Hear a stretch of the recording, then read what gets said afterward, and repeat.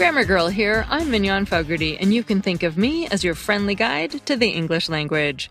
Writing, history, rules, and cool stuff. Today, I have a segment about the word dilemma, another segment about the language of the TV show The Big Bang Theory, and a Familect story. Let's get started. Do you have trouble spelling the word dilemma? I'm nearly certain I was taught the wrong spelling in school. And when I got older and checked a dictionary, I was shocked to find that the word is spelled D I L E M M A with two M's. Further, the only correct spelling is dilemma with two M's. But I thought it was spelled dilemma with an N after the first M. D I L E M N A. And it's not as if dilemma with an N is a substandard variant or a regional spelling. Dictionaries often note alternative spellings and sometimes even non standard spellings, but dilemma with an N doesn't even show up that way. The wrong spelling shows up in a few books in the Google Book corpus. Not a lot of books. It peaked around 1980 and has fallen since, but it's in what I can only call serious publications court reports, books that look like they came from academic presses, journal articles, and so on. They're the kinds of things that are probably written by well educated people, but that also probably didn't have extensive copy editing. One of the reasons I was looking through the Google Book corpus was to try to see if there was a children's book or English instruction book that had the misspelling, some reason I would have been taught the wrong spelling in school, but I didn't find anything. From searching the web, I see that other people have also looked for such books and haven't found them. I was talking about this with a friend I went to school with, and she also remembers being shocked when she finally learned the correct spelling of dilemma as an adult, and she also insists we were taught the wrong spelling in school. And if you start poking around the internet, you'll see that this is a pretty common story.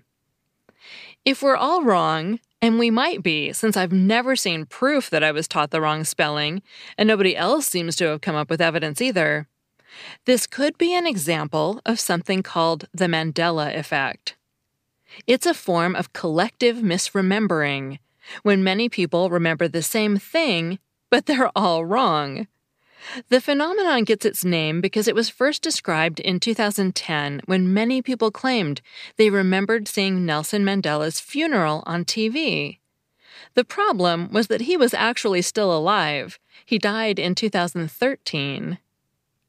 How might something like that have happened with the spelling of the word dilemma? Well, one theory is that it's easy to think events actually happened the way we'd expect to see them. Anyone who's ever missed a typo in their own writing will know what it feels like to see the spelling you expect to see. So, I wonder whether this spelling problem could be because words with two M's in the middle aren't very common, and lemma probably wouldn't be a word that children had heard. But nearly all children are familiar with the swear word that ends with MN. So while we were snickering about swear words in grade school, maybe we looked at dilemma with its two weird M's, and our brains filled in the spelling that was much more familiar. We saw the spelling we expected to see. Michael Quinion, on his Worldwide Words website, speculates that it might also be a misspelling by comparison to less titillating MN words like autumn, solemn, and column. He's also found examples in respectable literature going all the way back to the 1700s, and notes that because MM and MN look so similar on the page, it would be especially hard to notice that particular misspelling or typo. And then, regardless of how the misspelling became lodged in our minds, maybe when we encounter other people who misspell the word the same way, we construct actual memories of being taught in school. That must be what happened, right? How else could we both be wrong the same way? So that's one possible explanation for our collective misremembering. But I'm still holding out hope that someone will find proof we were all actually taught the wrong spelling. And then there's a second problem with the word dilemma. Some style guides say dilemma should be used only to describe a choice between two unpleasant options, but a lot of people use it differently. The DI prefix in dilemma means two or double, which lends support to the idea that dilemma should be used to describe a choice between two and only two alternatives.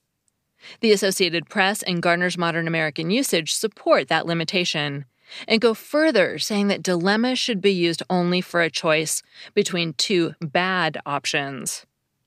Nevertheless, Garner also concedes that other uses are quote unquote ubiquitous.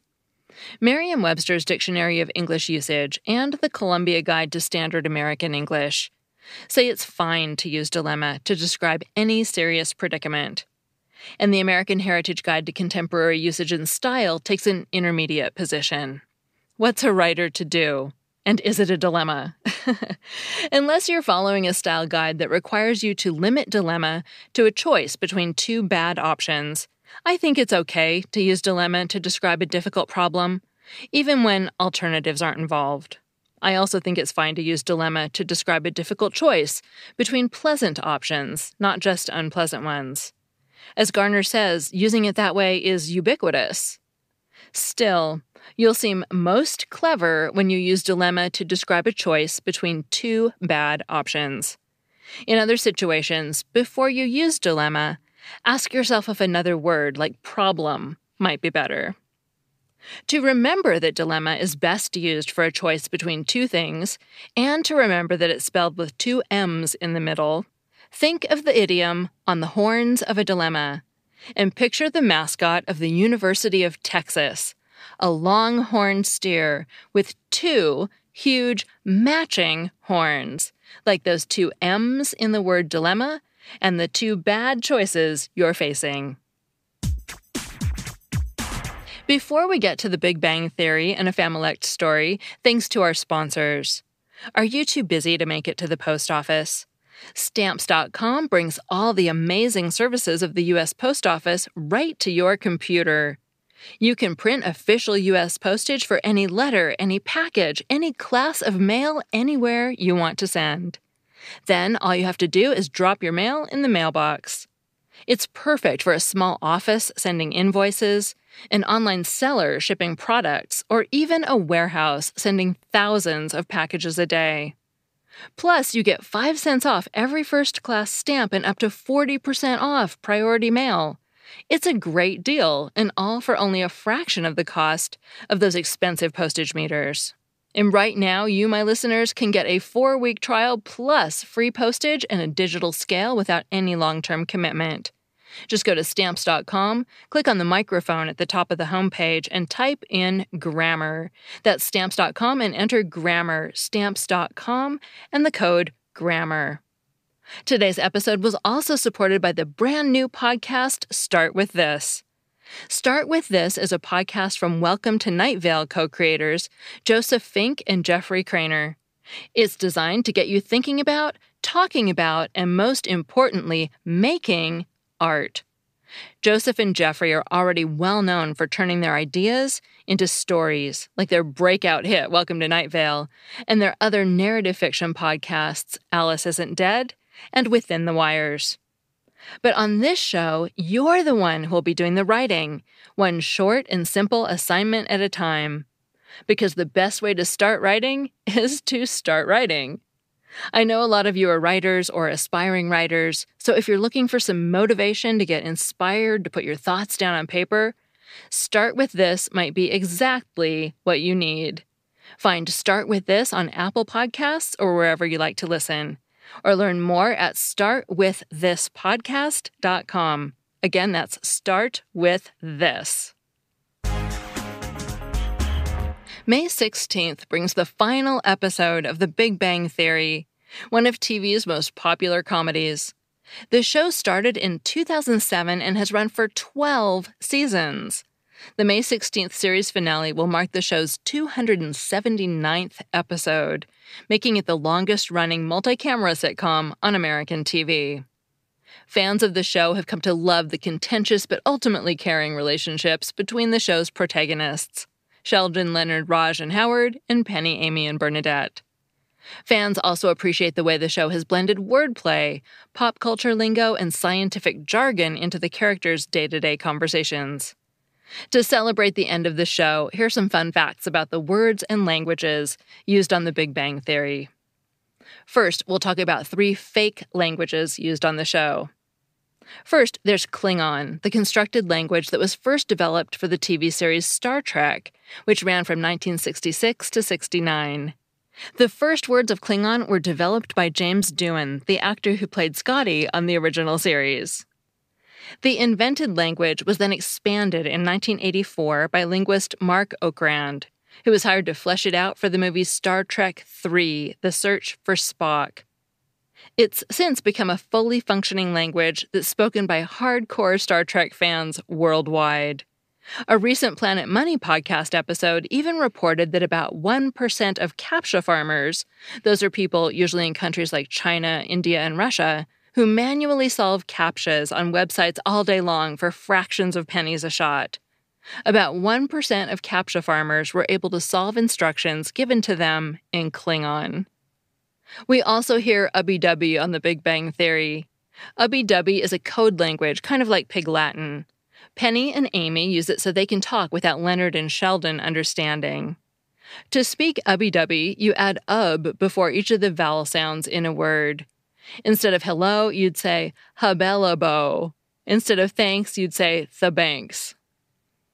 Finally, there's op, used by Amy. To speak op, you spell out every word in a sentence except for the first word and add op to the end of each consonant. So instead of saying, hey dude, you'd say, hey dop you dop e. Instead of what's new, you'd say, what's noppy wop.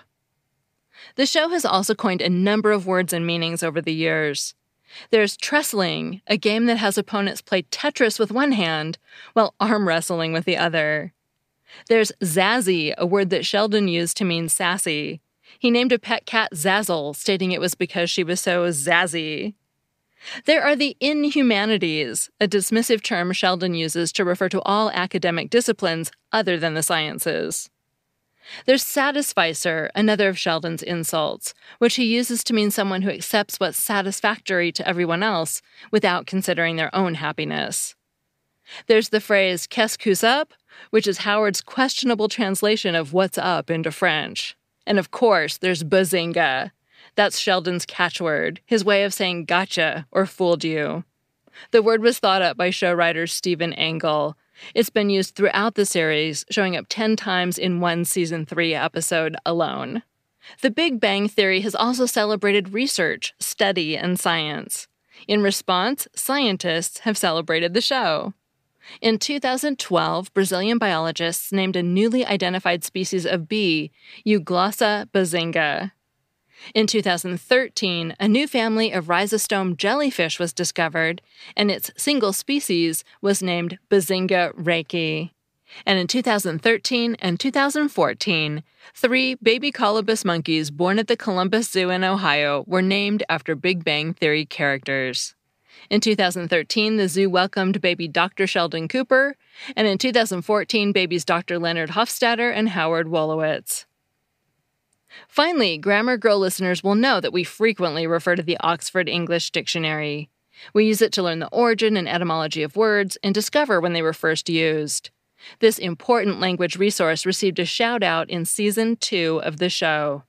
In the episode, Leonard tells his friends that he's dated, quote, plenty of women, mentioning Joyce Kim and Leslie Winkle. Says Sheldon, notify the editors of the Oxford English Dictionary. The word plenty has been redefined to mean two. We'll end today on that solid Sheldon Cooper put down. If you like hearing about language in pop culture, you may want to check out two of our other recent episodes.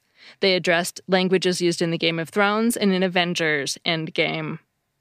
That segment was written by Samantha Enslen, who runs Dragonfly Editorial. You can find her at dragonflyeditorial.com or on Twitter as DragonflyEdit. Next, I have a Familect story from Travis. Hey, Grammar Girl. This is Travis from Dallas, Texas. And our Familect story uh, comes from our three year old son who is learning vocabulary and he has a way of describing things that have happened before today. and that is with the word lasterday. And so he'll say to us, questioning us, kind of confirming things that he thinks happened before today.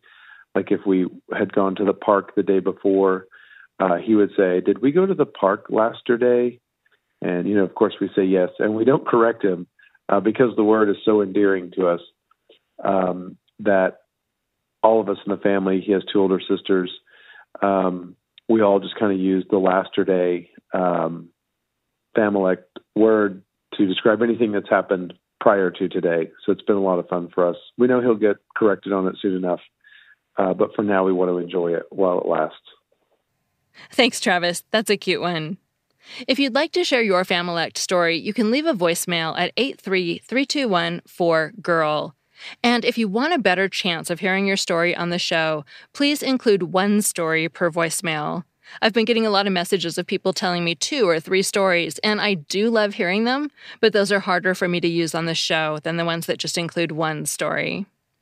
I'm Mignon Fogarty, better known as Grammar Girl, and author of seven books, including the New York Times bestseller, Grammar Girl's Quick and Dirty Tips for Better Writing. And thanks to my audio producer, Nathan Semes. This show is part of the Quick and Dirty Tips podcast network, and you can find articles that go with each episode at quickanddirtytips.com. That's all. Thanks for listening.